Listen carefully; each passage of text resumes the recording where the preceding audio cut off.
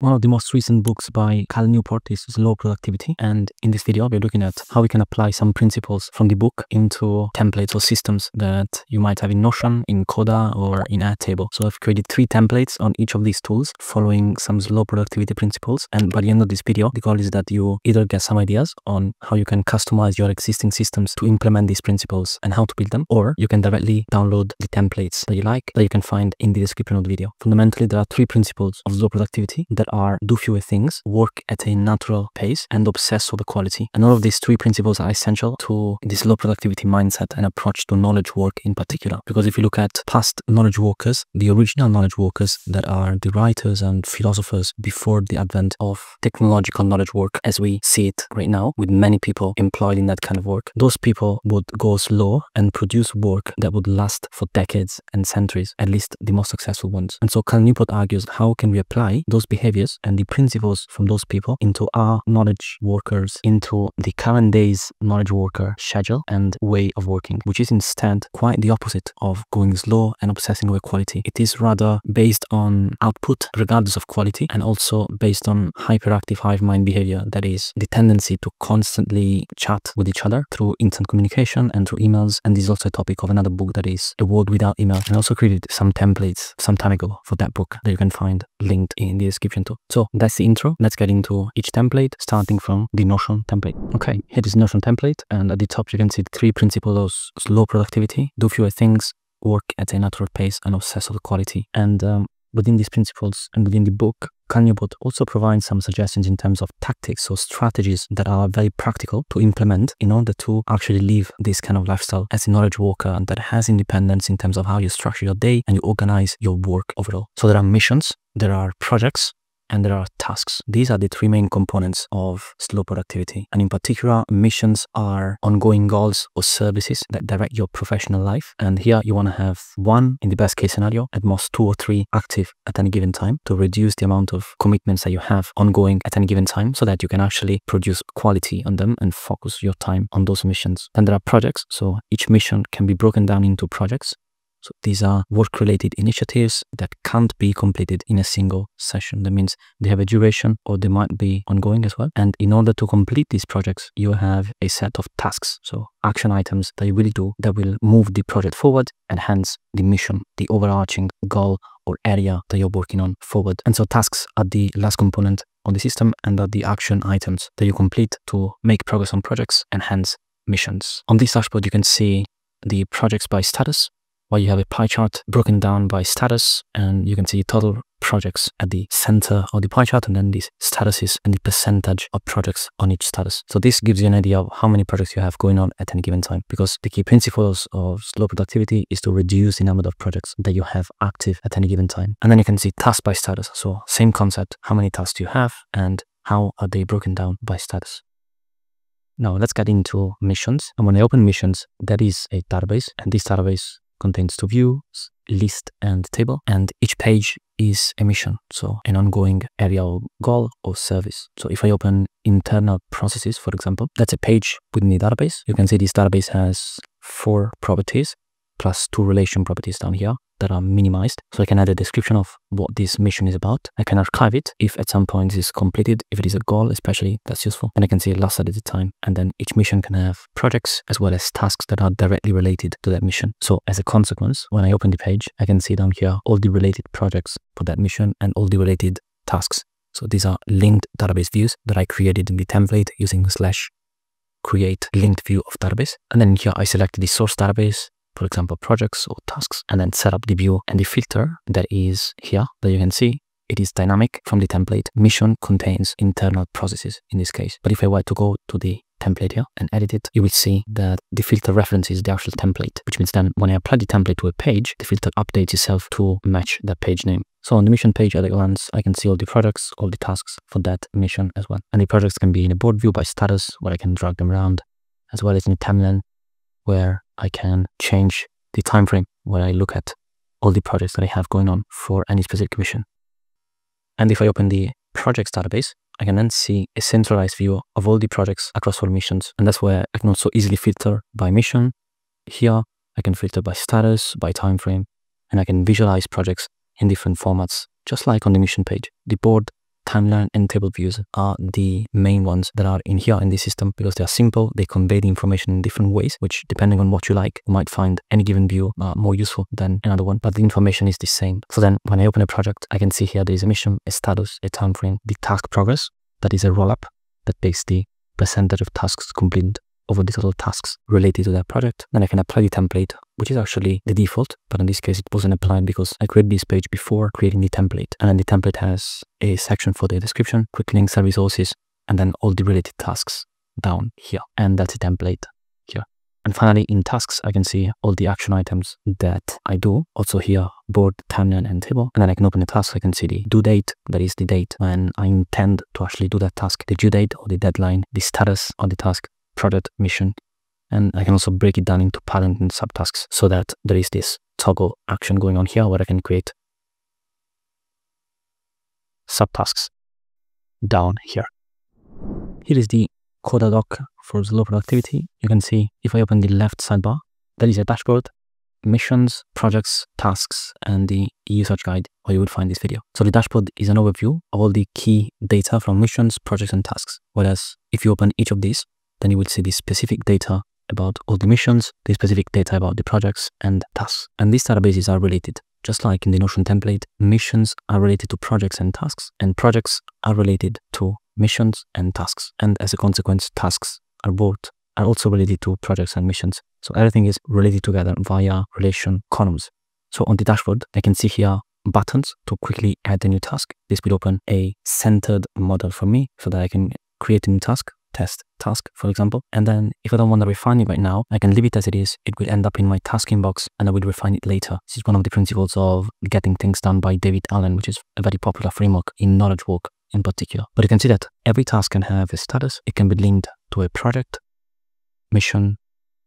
It can have a due date, a due date, and other data. But if none of these are filled out, then that task will be part of the inbox right here. So then when I want to parse to the inbox, I can then open it and organize it properly so that it ends up in the appropriate view down below and I can see it within the active tasks here. I can also quickly add a project with the same principle. There is no project inbox. So when I add a project, it will then end up in the projects table and I can refine it instantly or later. Here are the three principles of slow productivity, always as a reminder at the top of the dashboard. And there are some charts similar to the Notion template, products by status and tasks by status right here. These are pie charts. And down here, then there are active tasks. And uh, here you can quickly see how many active tasks you have. So that's a dynamic formula that I created using equals so that it opens up the formula modal and I can write a formula. So if I right click on it, I will see what the formula is about. Active tasks, that is this view here, that is filtered to show only the active tasks dot count. That is take all the active tasks in that table and then count how many of them are there so that I can quickly get an idea of how many active open tasks I have right now. When I scroll down, I can see a view of tasks and this is filtered to show all the open tasks so that the status is not done. You can also further filter here via this filter bar and you can see tasks can also be broken down into sub items. That is a new feature in Coda. If I open task, I then have all that same information here. When I go to missions, in here I can quickly add the new mission via the new button. Otherwise I can open this new one and inside of it I will see the archive checkbox I can write notes here on this canvas column that is free flow. So I can also type slash and then add any type of formatting or tables that I want. Then I can see a view of all the projects related to that mission and all the tasks related to that mission. Very similar as a concept and as a design choice as in the Notion template that I showed you earlier.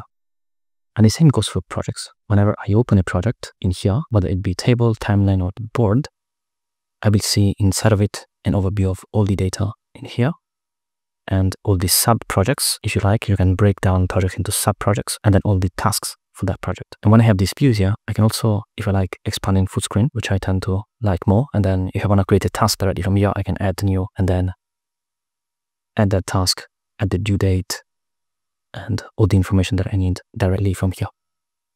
And this ends up in the task table. In here, I'm gonna just pick a different layout, select the task layout, then go back to the product page. And now this is the correct layout that I want that is organized better in columns. Okay, let's go back to projects. You can see that projects have different views. For example, the timeline view might be useful when you want to see how long a project takes and uh, how much focus you want to invest in it. So in here, you can scroll horizontally and uh, you will see projects are grouped by statuses so that it doesn't become too overwhelming. If you don't want to see the completed ones, you can just close it, for example, and then you can see all the in progress. Then you can open it by clicking on that project just like that. And finally, tasks is where you can see all your tasks. Here as well, there is a table, there is a timeline, and a board, as well as a button to quickly create a new task. The Airtable base, as per usual, is composed of the three main tabs at the top that are data, where you can find all the tables in the system, in this case, missions, projects, and tasks. These are relational tables. Then you can see automations, where you can find all the automations in the Airtable base. That's what it's called here. Slow productivity is called the base. Then the base is composed of tables. Tables are composed of views on the left-hand side here that you can expand and collapse. And then the final tab on at the top is interfaces and interfaces are a way to visualize data from tables in a more user-friendly way because tables are very strict. Of course, you can have different views of tables, so that definitely helps. But for some people, interfaces might be better, just a, a, better experience, more pleasant because here you can also create charts. You can create views that are very simple and straightforward. You can have buttons to add missions, to add projects and tasks. And you can see here there are three interfaces. And as an admin, you can also click on edit to edit the interfaces here. And you can see them here. These are the pages.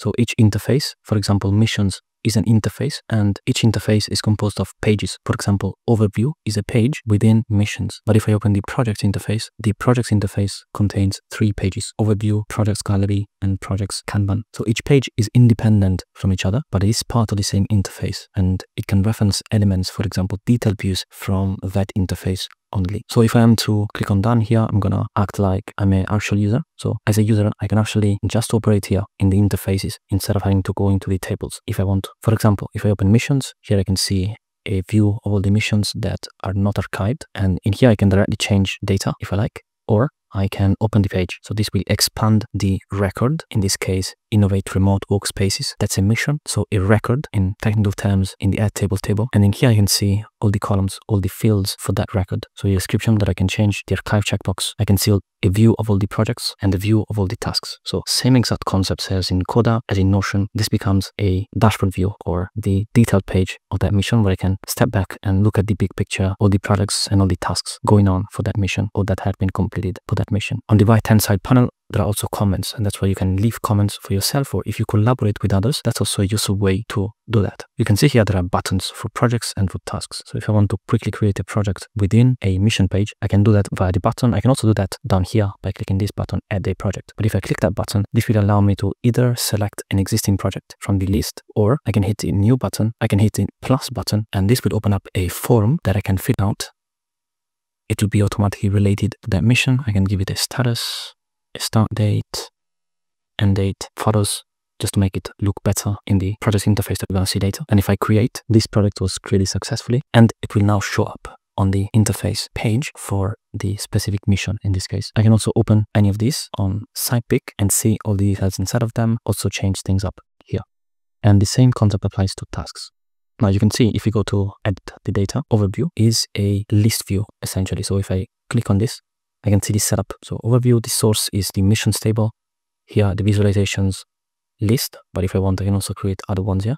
Then there is a filter that says archive is unchecked. There are some dropdowns that are here. I can also add other ones. Dropdowns are filters. And then here I can allow some user actions, sorting, searching. These are these options here at the top right of that view. And if I want to add the record to a form, that will activate this button, admission, which I can also customize here. Then you can see that this button has a form linked to it. So if I want to edit what the form looks like, I can click on edit form and this will open up the form and I can edit all the fields here.